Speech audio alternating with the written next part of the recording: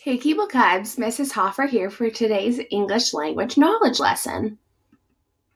Friends, after today's lesson, you will know basic facts about kings and queens. You will understand the multiple meanings of the word rules, and you'll be able to demonstrate an understanding of the tier three word royal. Friends, today we're going to be learning about kings and queens. Can you tell me what you already know about kings and queens? What are some interesting things that you might already know about kings and queens, Keeble Cub? Let me know. Good job, friends. Friends, just like a teacher is the leader of our classroom and the president is the leader of our country, in the United States, some countries in the world have leaders called kings and queens. Kings and queens are different leaders from teachers or presidents because they are not hired or elected. Instead, they are born into special families called royal families. A king is a man from a royal family who is the leader of a country. And if we know that a king now is a man from a royal family who is the leader of a country, who do you think a queen is? That's right, Keeble Cubs. Good job. A queen is a woman from a royal family who is the leader of a country as well. Friends, the children of kings and queens are called princes and princesses, and they may one day grow up to be kings and queens themselves. Kings and queens in the royal families live quite differently than everyday people like you and I live, Keeble Cubs. Friends, many different countries in the world have been ruled by queens, kings and queens at some point or another. Long ago, many countries had kings and queens, but now fewer countries have kings and queens. We live, if you see here on the map of the world, in the United States of America, which is right here, this country right here that I'm circling, Keeble Cubs. And right up here, Keeble Cubs, is country um, Great Britain. Great Britain is one country that still has a king and queen today. So this is the queen and um, her husband of Great Britain today. This is Queen Elizabeth who some of you might have heard of before. Friends, is the man who was a royal leader of a country a king or a queen? That's right, he's a king. And what about the female who's a leader of a royal country? What did we learn she was called? That's right, Keeble Cubs, she's a queen. Friends, now it's time for today's read aloud. Today we are going to be reading a story called what are kings and queens? After today's read aloud, friends, you will identify details about kings and queens from the text and images, and you'll be able to demonstrate an understanding of the tier three word royal. Friends, make sure to listen very carefully to hear all about European kings and queens from long, long ago, including the places they lived and all the different royal things that belonged to them. Let's get started. Look at this fancy building. What do you think this building might be used for, Keeble Cubs? Can you believe this building's actually someone's house? Well, it's not just any house, it's a palace. This palace used to belong to the Queen of France. What do you think it's like inside, friends? It must be nice if it was built for a queen. In fact, this palace has 440 rooms inside. As the leader of their countries, kings and queens often had the biggest and best homes in all the land, known as palaces or castles. As the leader, the king or queen rules a particular area of land and the people who live there. Friends, when we hear the word rules here, we mean when a king or queen leads and makes decisions about a particular area of land and people who live in that area of land. This area of land is called the kingdom. But, friends, rules can also mean other things such as a set of directions or how to complete something. There used to be many, many kingdoms in the world's cable cubs. Today, however, there's not as many kingdoms or kings and queens as there used to be. Cable Cubs, can you tell me about this picture? Who do you think this person might be on the page? And why do you think this person might be that person? Is there something on the page that you see that might give you a hint? It's good to be king. That's an old saying. And if you look at this king, whose name was King Richard II of England, you begin to get the idea why this saying holds true.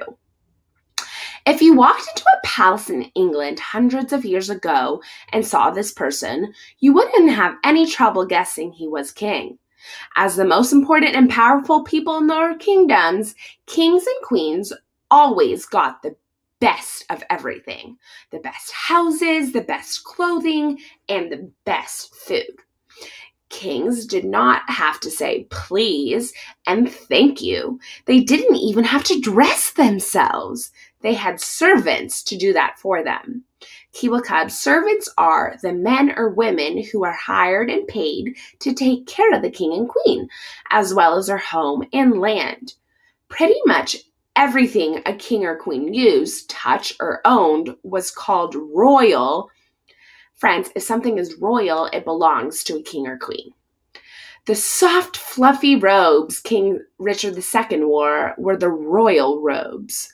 The cup he drank from was called the royal cup, and if it was royal, that meant only the king, queen, or someone in the royal family, such as his daughter the princess or his son the prince, was allowed to use it.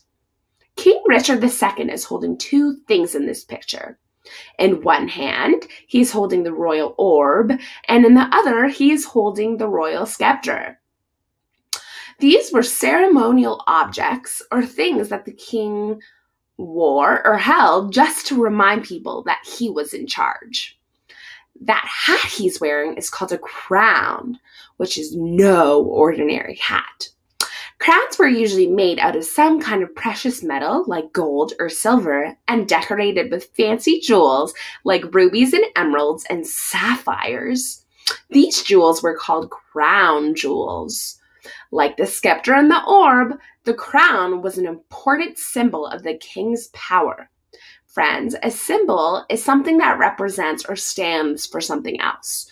When people say they the king's crown, they knew that this person who wore it was powerful and important. So, the king's crown symbolizes power and importance. Here's a close up picture of a crown. It's made of gold and loaded with fancy pearls and other jewels.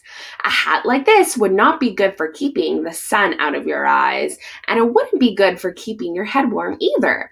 But if you were wearing it, it meant that you were the king or queen, the ruler of the kingdom.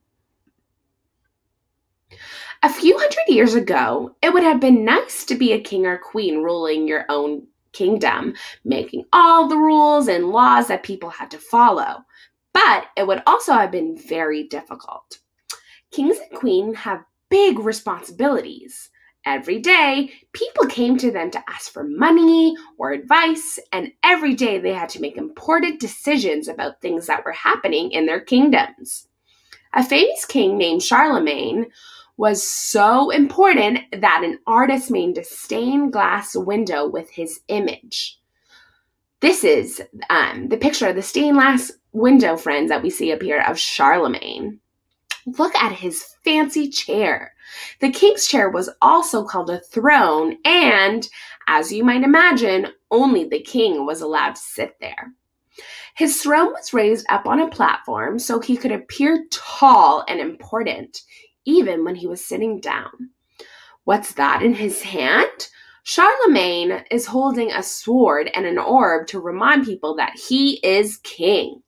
Over the next couple of weeks, you will learn more about kingdoms, kings, queens, and everything having to do with royalty. The end. Cable Cubs, what is in this picture? Can you tell me what we learned is in this picture here? That's right, friends. In this picture, we see a palace, which is home to the king, queen, and or their family. Good job. Friends, now look at the next two pictures.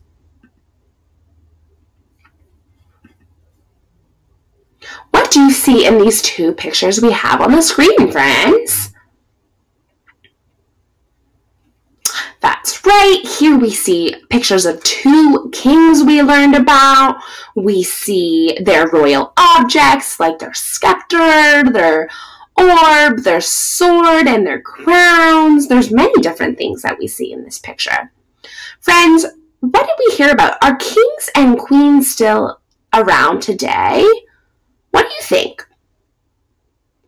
That's right. We learned that yes, there are still kings and queens around today, but far less than there were many years ago. Good job, Cubs.